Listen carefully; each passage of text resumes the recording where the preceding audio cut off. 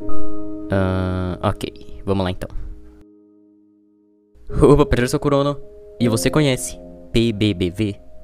Bom, se você não conhece, vem comigo, que hoje a gente vai desvendar e conhecer o misterioso caso de Gorilla Tag.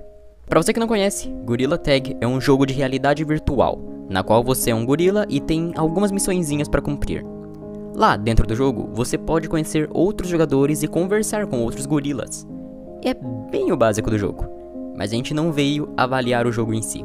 Há algum tempo, uma lenda veio crescendo. Diversos jogadores relataram encontrar um player estranho em suas rooms. Um gorila de skin vulcânica pairava alguns servidores e aterrorizava quem estivesse à sua volta. Jogadores dizem que ao ver esse gorila, você tem 5 segundos para sair do jogo, porque senão ele vai hackear sua conta e te banir do jogo por um tempo determinado por ele mesmo. E ele não vai hackear só a sua conta, ele vai expor seu IP na internet, senhas e tudo o que você pode pensar. Mas afinal, o que é ou quem é esse gorila? Nas salas, esse mesmo gorila agia de forma estranha, apertando enlouquecidamente um botão que fica em um poste e repetindo a mesma frase: PBBV. E então, esse hacker ficou conhecido como PBBV. Mas de onde ele surgiu, qual seu objetivo e como parar ele? Bom, isso a gente vai descobrir agora. 6 de agosto de 2021 foi a data em que o canal Chip the Banjo postou seu primeiro vídeo. Radio Connected PBBV.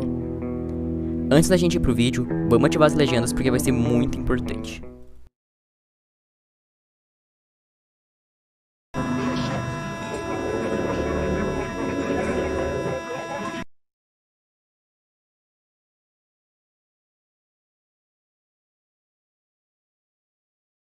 Ok, começou com a legenda escrita, comentário estranho e aquele monte de letra que, pelo menos agora, é indecifrável pra gente. Logo depois, um gorila vulcânico apertando desesperadamente aquele botão. A gente sabe que esse gorila é o tal do PBBV. Mas o que ele queria que acontecesse apertando esse botão enlouquecidamente? Na descrição do vídeo, nós temos um recado. Lemen, o rádio não funciona mais para mim. Prova para o Lemen.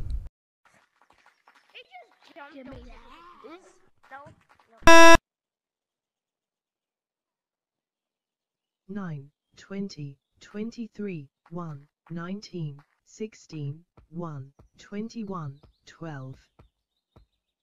Nine, twenty, twenty-three, one, nineteen, sixteen, one, twenty-one, twelve.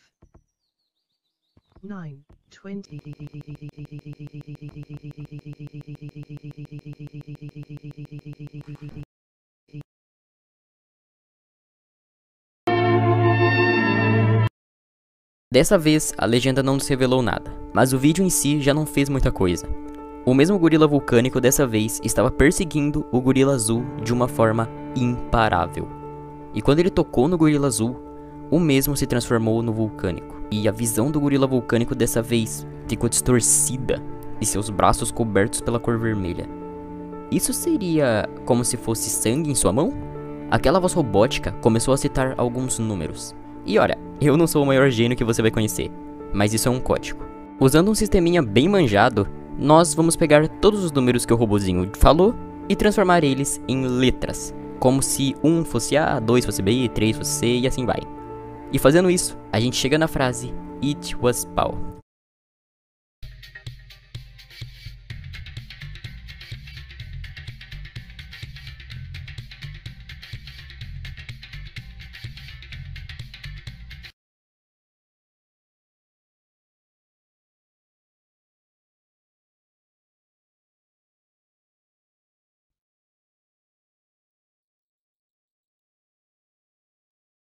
No próximo vídeo da lista, nós temos o Siren Isu.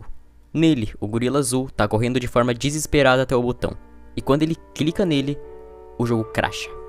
E a única coisa que nós conseguimos ver é a imagem de um gorila cinza, nos encarando fixamente. Acompanhado da visão de uma sala com um buraco na parede.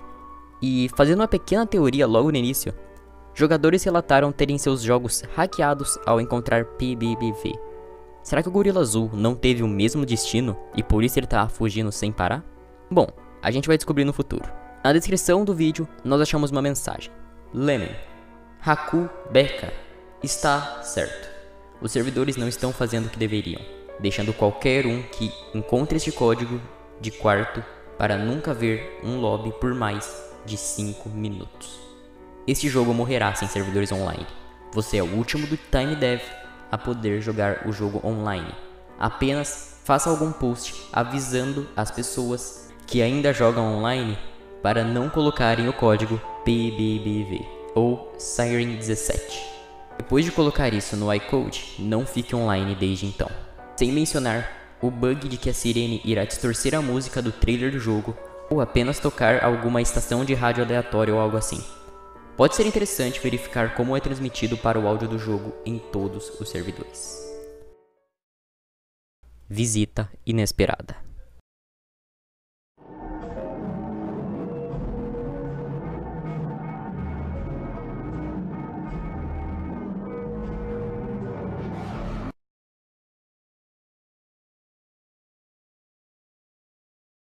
Esse vídeo só reforça o que nós já temos em mente. O gorila azul fugindo de algo, e então a imagem de um gorila cinza e o jogo fecha. Esse gorila cinza é a representação do PBBV. Quando você vê ele, já era. Mas no início do vídeo, nós temos aquela misteriosa frase: Me desculpe, Mark. Mais um novo personagem para nossa lista. Vamos fazer uma lista de todos os personagens que já apareceram até agora para a gente não se perder. Eu tenho uma leve impressão que os gorilas do jogo são uma representação de outras pessoas. Então, vamos lá. O gorila vulcânico, PBBV. Gorila azul, é desconhecido. Lemon e Mark. Até agora, esses são os nossos personagens. No próximo vídeo, nós não temos absolutamente nada no título. E ele é o vídeo mais enigmático até o momento.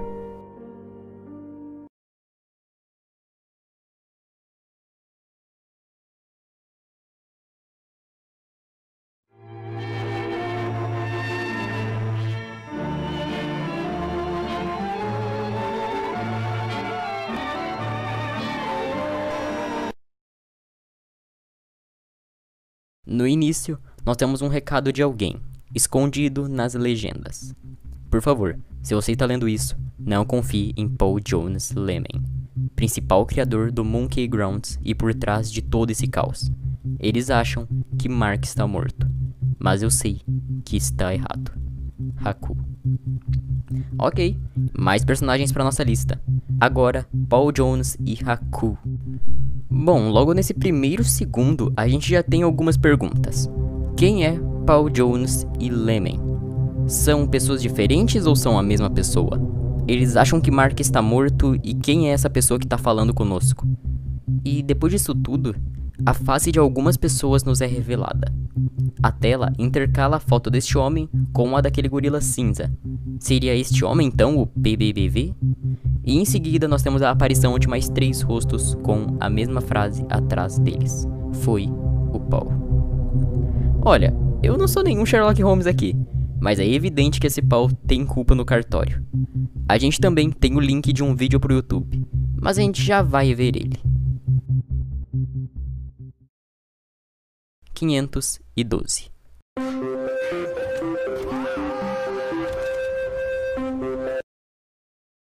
Vocês conseguiram identificar o que era esse barulho de fundo? Parecia alguém caindo de um lugar alto e gritando. Logo depois, algo como ossos quebrando? Bom, tá ficando confuso, mas é aqui que a gente também tem outro rescado escondido. Hey Lemon, honra em falar com você para o vídeo no Monkey Grounds VR. Melhor desenvolvedor. De qualquer forma, não posso fazer nada neste fim de semana, pois algumas coisas surgiram Espero ver o jogo se sair bem no futuro. BJ Mint01 Ok, vamos tentar se organizar um pouco porque as coisas estão ficando realmente um pouco complicadas. Pela mensagem de Haku e desse BJ, um jogo chamado Monkey Grounds VR está para ser criado. E o diretor disso tudo é um homem chamado Lemon. E esse BJ é talvez um apoiador do jogo. Mas a gente ainda não sabe o que aquele pau tem a ver com essa história toda.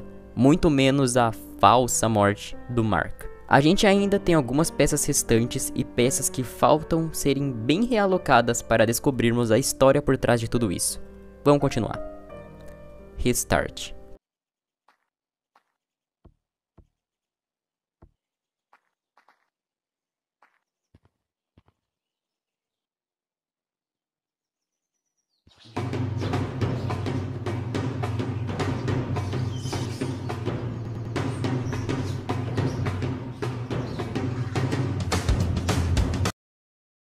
Um gorila roxo nos é apresentado, mas ele não é como o azul. Dessa vez, ele aperta o botão, sobe no poste, e então uma música começa a tocar. Ele se debate no chão e então se transforma no vulcânico. Eu não sei se você percebeu, mas quando o PBBV pegou o gorila azul naquele vídeo, por alguns frames o gorila azul se tornou esse mesmo vulcânico. Será que então isso não está ligado à morte? Pensa bem, sempre que eles deixam a entender que estão prestes a morrer, eles se tornam vulcânicos, como espíritos. Ok, talvez eu tenha ido um pouco longe nessa jogada, mas vamos agora para o nosso próximo vídeo. Gorilla Tag Setup Tutorial To Gorilla Tag. Before we start, there are a few steps you should do to make sure you appear while playing. Start with moving all your furniture away, anything from tables to chairs to the...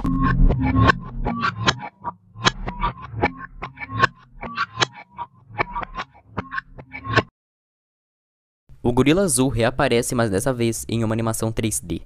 Ele nos ensina como jogar um VR e então tem aquele corte seco, com ele surgindo morto, pendurado por uma corda, insinuando que ele se enforcou.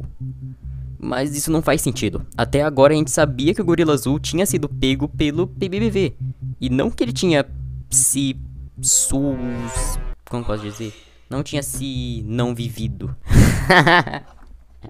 Fiquei imaginando você editando um bagulho e eu falar SUS, que eu fiquei bugado, não sei o que falar. Na descrição, só há uma frase.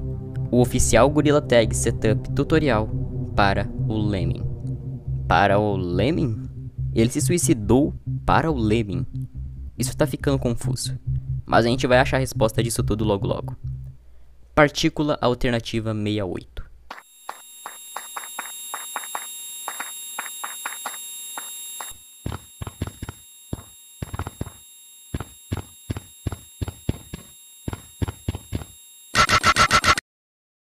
Uma coisa é fato: essa mulher está morta.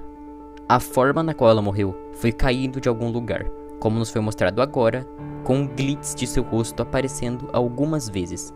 E naquele vídeo sem nome, ela aparece no final com a frase Foi o Paul. Nesse ponto, a gente já pode colocar que o Paul é um assassino, certo? Mas. Mas quem era essa mulher e o que levou Paul a matar ela e Mark ainda é desconhecido. Na descrição desse vídeo, novamente um recado foi deixado para Lemon. Porém, dessa vez, quem escreveu o recado foi um usuário chamado M4. Mais erros. Parece que mais jogadores estão sendo expulsos dos lobbies. Tentei eu mesmo e bem, isso aconteceu. Mais uma vez, Lemon, entrei no PBBV e isso aconteceu. Felizmente, com minhas permissões nos arquivos do jogo, desta vez acho que coloquei em quarentena as pessoas estão tendo acesso a esse DLC beta, mas também não podem sair. Vou continuar fazendo vídeos quando os itens desaparecerem e etc. Tenho a sensação de que qualquer bug que estava fazendo isso antes está de volta, de alguma forma. Isso foi um puta de um plot twist. Então PBBV não é uma pessoa e nem um hacker, é um servidor. E por essa mensagem nós vemos que jogadores estavam entrando nesse host mas eles sempre eram expulsos da sala. Então esse M4, pelo que deixa entender, trabalha como Lemon, como seu funcionário e desenvolvedor. Acaba deixando o servidor dando aquela dormida até tudo voltar como era antes. Keyboard Sound Test 017S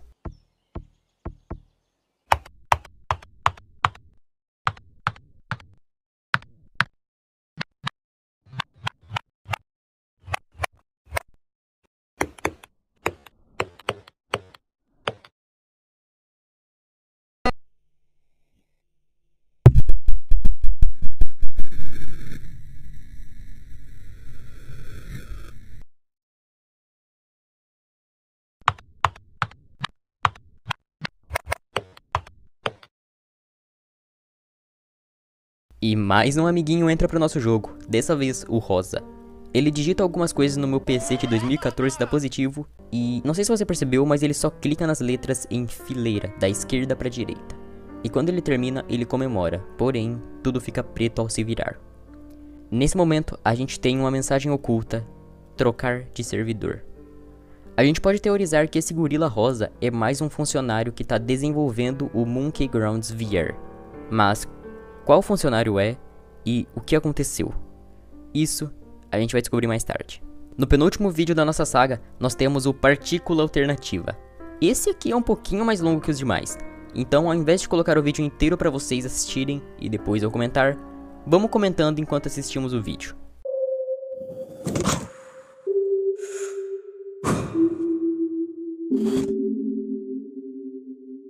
Logo aqui no início, a gente já tem aquela mesma criatura da thumb do Siren e Sue. E esse vídeo Parece que vai ser um anúncio da partícula alternativa. Hello and welcome back, Mooncave VR fans. Here at Alternative Particle, we are very excited to announce our new game, Mooncave Sports.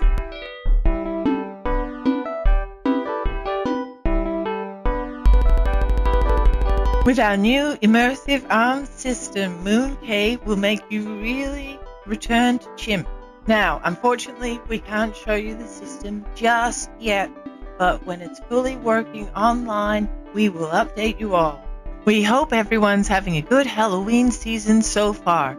So, we updated all the Mooncake games to have pumpkin helmets. Ok, essa partícula alternativa, então. Ah, mano. Ok, essa. ok, essa partícula alternativa, então, é uma empresa de jogos. E eles estão anunciando o M-Monkey Sports VR. E não sei se vocês lembram, mas quem era mesmo o diretor de um jogo chamado Monkey VR Grounds? Isso mesmo, Lemon. Então, este é o anúncio do novo jogo de Lemon e seus funcionários. Release date. All we can say is. So make sure to keep your eyes out for some more announcements soon.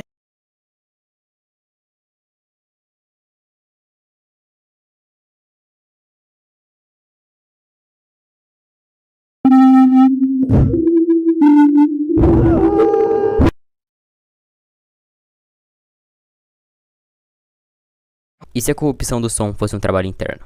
E por que a seleção de músicas desse jogo estranho tem código para se conectar ao falso hack de rádio PBBV?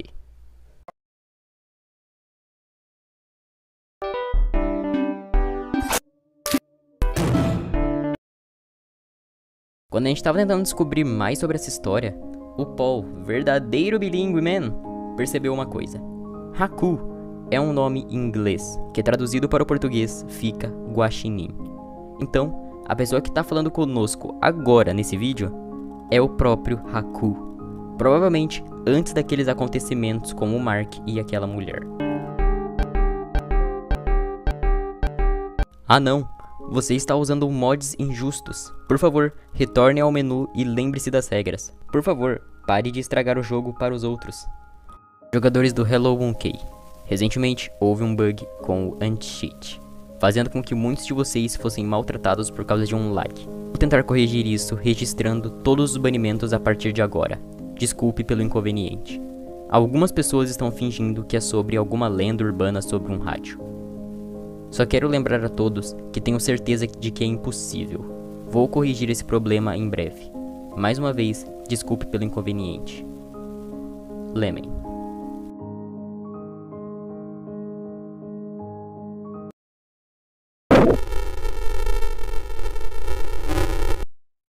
Tá bom, a gente já ouviu essa história outra vez.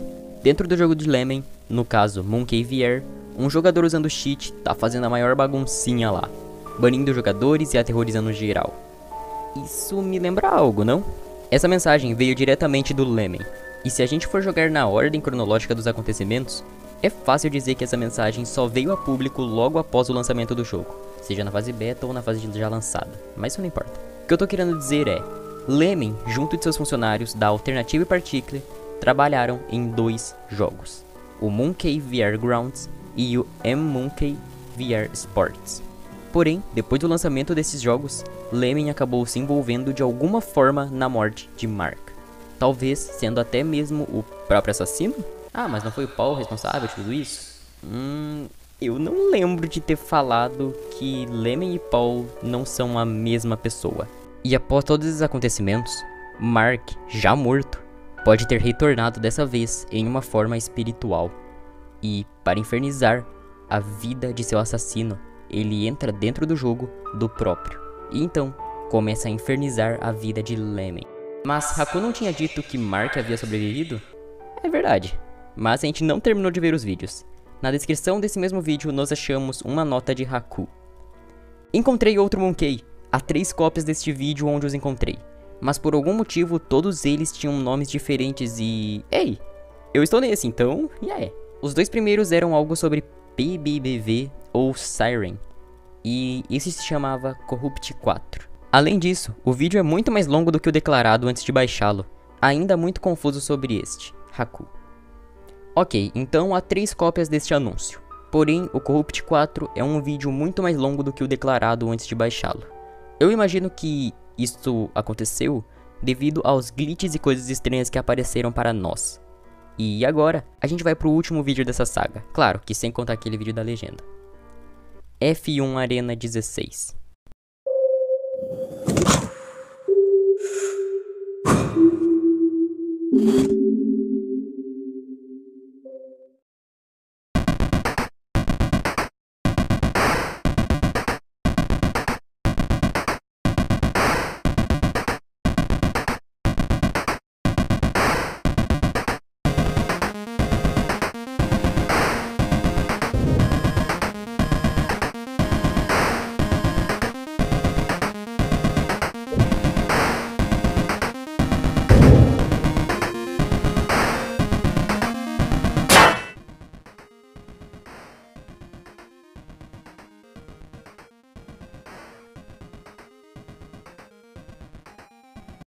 Certo, pelo que parece, isso é o trailer oficial do M-Monkey Sports.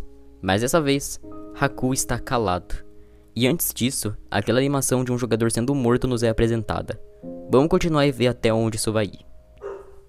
Ah, mano, meu cachorro não para de latir, velho. Eu vou morrer.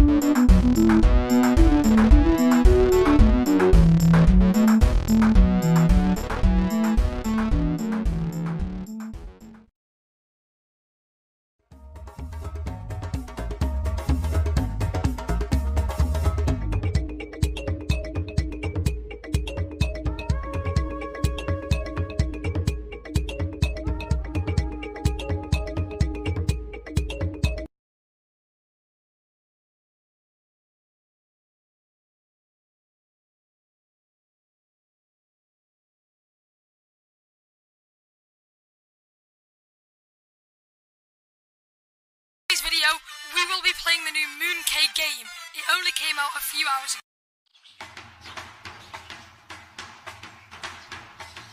Guys, they just silently released the new Mooncake game.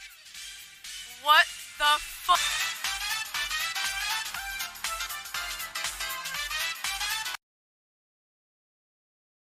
Welcome back, everyone. We're here to talk about one of the most controversial VR games on the market, Moon K VR.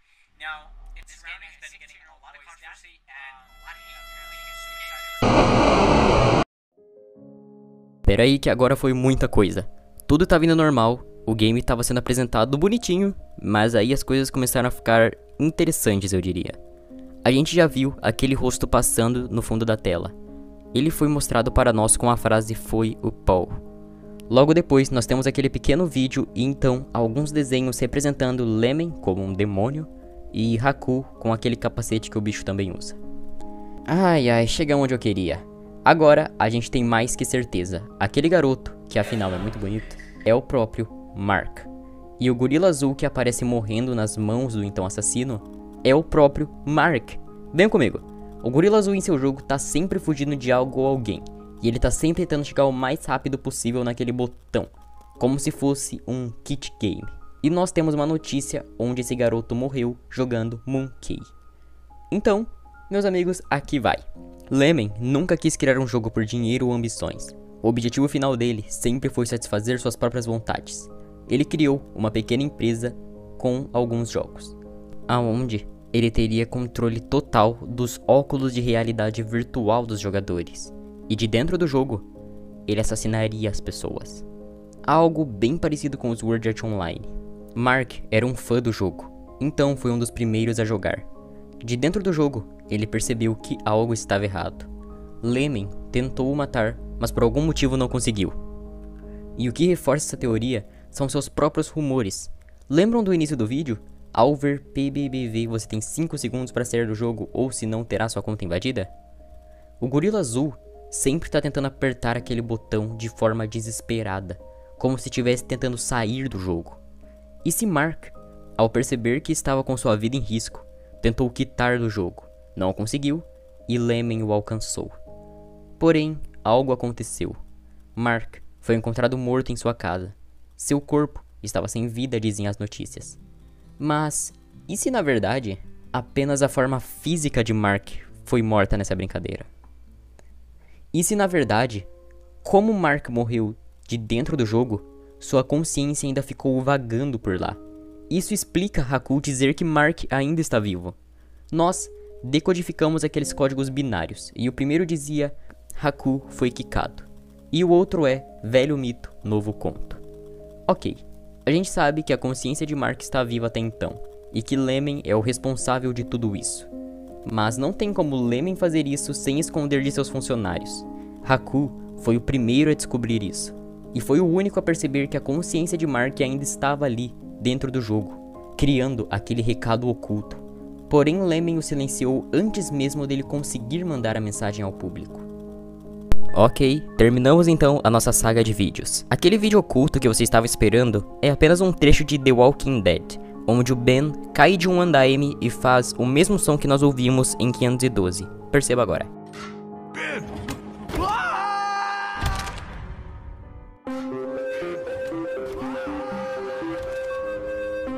Porém, com os vídeos terminados, quer dizer que acabou tudo? Ainda não. Vamos agora ver um pouco mais a fundo sobre tudo isso. Afinal, temos algumas pontas soltas. Se você perceber, naquele vídeo Keyboard Test, nós temos uma minutagem, no caso, o segundo 017. Indo até esse momento, por milissegundos, nós nos deparamos com a feição de Mark, dessa vez não distorcida. No primeiro vídeo dessa saga, um usuário chamado Rico questionou o chip com a então pergunta. Preciso fazer uma pergunta séria. Como encontramos o PBBV? E o PBBV começa a mexer em um determinado momento no servidor? E uma última pergunta. Você pode escapar dele? E o chip respondeu: Você não pode encontrá-lo. Ele não existe. Afirmando que PBBV é apenas um servidor, ele não existe como jogador. E que o nosso problema mesmo é Paul Lemen. No primeiro vídeo, lembram daquelas letras em caps lock todas embaralhadas, desordenadas? Então, isso já foi decifrado. E decodificando essa frase fica como você ousa fazer isso conosco, Paul? Eu imagino que quem falou isso foi algum funcionário da Alternative Particle, diretamente para o Paul, comprovando a nossa teoria que sim, Lemen, o chefe dessa empresa, é a mesma pessoa que Paul Jones. No vídeo sem nome, a gente deixou uma coisa passar batido também. Após a mensagem da Haku, mais uma vez por milissegundos, a face de outra pessoa nos é revelada.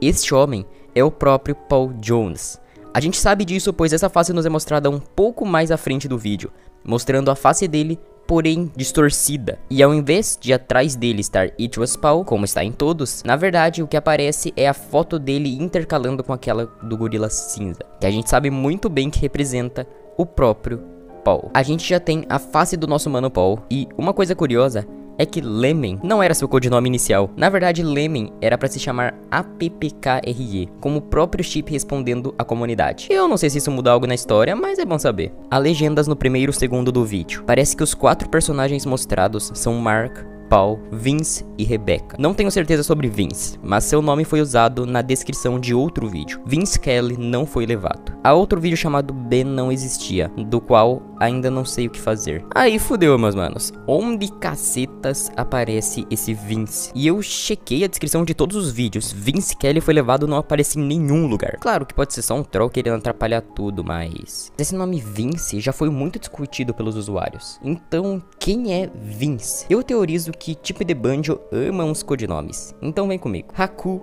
é um codinome da Becca. Lemen ou APPKRE são codinomes para Paul Jones. Então, tá faltando só um personagem nessa lista. Porque M4 não pode ser um codinome para Vince. Aquele mesmo cara que mandava relatórios para o Leme de como tava aí no jogo, isso tá ficando cada vez mais confuso. Mas vamos recapitular as coisas e tentar entender um pouco melhor. Um homem chamado Paul Jones fundou uma empresa chamada Alternative Particle. Essa empresa lançou dois jogos, Monkey Veer e M Monkey Veer Sports. Seus funcionários eram Becca e Vince Kelly. Porém, os jogos de Paul Jones nunca tiveram o intuito de diversão e lucros. E, na verdade, tudo isso foi criado pela loucura doentia de Paul. Ele manipulou sua própria equipe para fazer então sua obra-prima. Quando o jogo foi criado, um garoto de 16 anos chamado Mark foi testar o jogo.